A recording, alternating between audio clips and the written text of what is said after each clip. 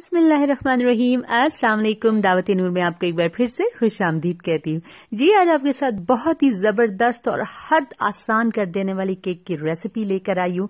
ये fresh cream के साथ प्रिपेयर होगा और ये फ्रूट केक है, जिसके अंदर मैंने टिन के फ्रूट यूज़ किए। आप अगर चाहे तो फ्रेश फ्रूट भी यूज़ कर सकते हैं। इसके साथ ही आपसे रिक्वेस्ट है, अगर आप मेरे चैनल पर नए हैं तो काइंडली चैनल को सब्सक्राइब कर लीजिए और पास वाले बेल आइकन पर भी प्रेस कर दीजिए, ताकि आपको लेटेस्ट वीडियो की नोटिफिकेशन टाइम पर मिल सके। तो आसान से केक के लिए सबसे पहले स्पंज प्रिपेयर करते हैं। इसके लिए मैंने ली है पाँच अंडो, अंडे लिए हैं और उनकी सफेदियों को अलग कर लिया सबसे पहले सफेदियों को बीट करूँगी और इसके अंदर मैंने शामिल किया हाफ़ टी स्पून के करीब आप या लीमू का रस डाल दीजिए या सिरका वेनेगर। जो भी आसानी से अवेलेबल हो, वो डाल दीजिएगा। इसका फ़ायदा ये होगा, जब आप बीटिंग शुरू करेंगे तो आपकी ये जो सफेदियाँ, ये बहुत जल्दी बीट हो जाएँगी। अगर सात मिनट लगते हैं तो पाँच से चार मिनट में काम हो जाएगा।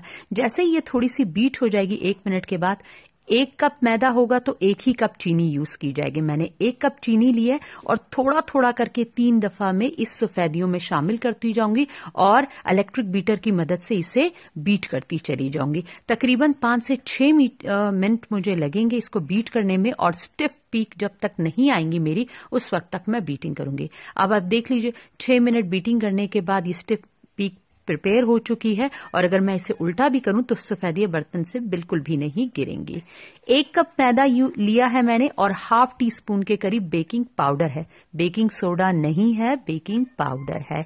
और दोनों को आपस में मिलाया और हैंड विक्स की मदद से अच्छी तरह मिक्स करूँगी ताकि बेकिंग पाउडर और मैदा अच्छी तरह से मिक्स हो जाए, कहीं पर कोई लम्स कुछ ना रहे।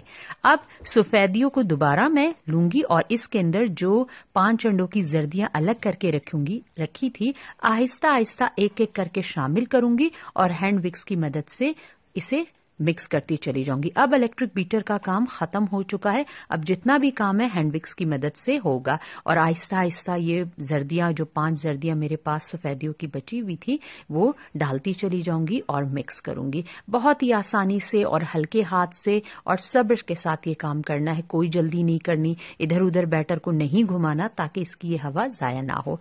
थ्री टेबल स्पून के करीब दूध है। और थ्री टेबल स्पून के करीब कुकिंग ऑयल है और एक टीस्पून के करीब वनीला एसेंस है। ये आम कुकिंग ऑयल जो किचन में यूज़ होता है, अच्छी तरह से डाला मिक्स किया। अब जो मेरे पास मैदा रखा हुआ है, वो आहिस्ता आहिस्ता से इसी तरह चीनी की तरह से तीन कर, तीन दफ़ा में एक एक मिनट के बाद शामिल करूँगी और मिक्स करूँगी।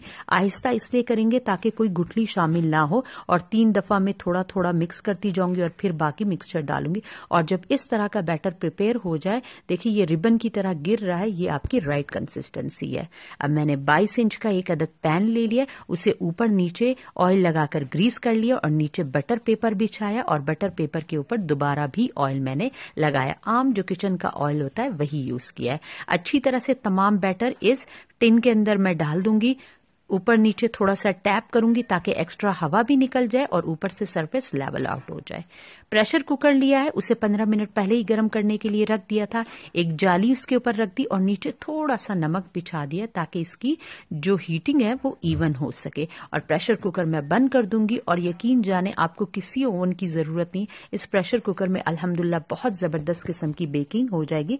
बस दम वाली आँच से थोड़ा ज़्यादा रखना है और पचपन से साठ मिनट में आपका केक ज़बरदस्त तरीके से प्रिपेयर हो चुका होगा। मैंने पहले पचपन मिनट के बाद देखा तो थोड़ा सा कच्चा था, मैंने पाँच मिनट और रखा। अब दोबारा आपके सामने देखे चेक करी नाइफ बिल्कुल साफ़ निकल रही है तो इसका मतलब है कि ये बिल्कुल हो चुका है। आप तकरीबन चालीस मिनट के बाद इसे देखना शुरू कर दीजिएगा। और अब मैं इसे पंद्रह मिनट, मैंने इसे ठंडा होने के लिए रखा, और पंद्रह मिनट बाद जब ये ठंडा हो गया, अब मैं इसकी साइडों से इस तरह से नाइफ को, छुरी को फेरूँगी, ताकि इसके किनारे अलग हो जाए।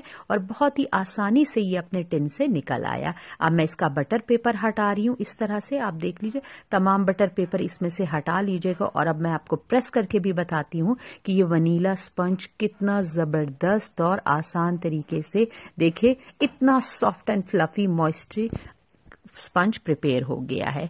अब नाइफ लूँगी और बीच में से अंदाजे के मुताबिक इसे मैं यू फेरना शुरू कर दूँगी और इसे दो टुकड़ों में इसके इक्वल पार्ट्स काट दूँगी मैं। इस तरह से कोई घबराने की ज़रूरत नहीं, बिल्कुल आराम से कीजिएगा और आपका ये स्पंज एक आम सी छुरी से भी कट जाएगा, किसी आपको एक्स्ट्रा औज़ार की ज़रूरत नहीं है।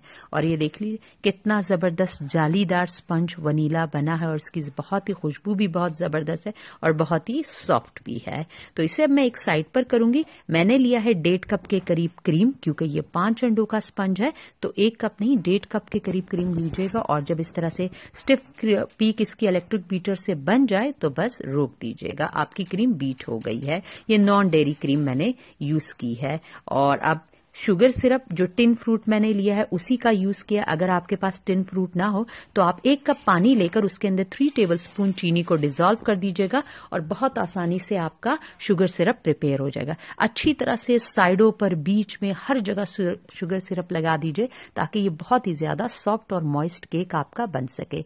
अब मैंने इस तरह से पाइपिंग बैग में क्रीम को भर लिया है और स्टार नोजर की मदद से इसे मैं रफली लगा रही हूँ। मैं किसी स्पैचुला को, किसी पैलेट नाइट को यूज़ नहीं करूँगी और इसी से ही अपने पाइपिंग बैग से अपने केक को डेकोरेट कर लूँगी मैं। अब ये जो टिन फ्रूट है, इसके बीच में एक इसकी अच्छी खासी अमाउंट लगाऊँगी ताकि आपको हर एक बाइट में ये जो फ्रूट्स है, ये महसूस हो सके और आपको बहुत ही ज़बरदस्त और यामी किस्म के टेस्ट का जायका मिल सके। अपने हाथों की मदद से दूसरी साइड को हल्के से प्रेस करूँगी और इसके ऊपर रख दूँगी और दोबारा जो शुगर सिरप है, वो इसी तरह से प्रोसेस दोहराऊँगी और हर जगह इवनली इसे फैला दूँगी।